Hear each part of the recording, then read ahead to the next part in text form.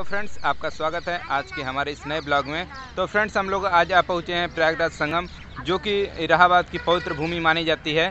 तो सबसे पहले हम लोग चलेंगे यहाँ पर, लेटे हुए हनुमान जी के मंदिर में, वहाँ पर दर्शन करेंगे। उसके बाद चलेंगे हम लोग संगम, जो कि जहाँ पर स्नान करते हैं लोग, वहाँ पर चलने वाले हैं, और जो कि वहाँ पर आपको पूरी सीन दिखाते हैं।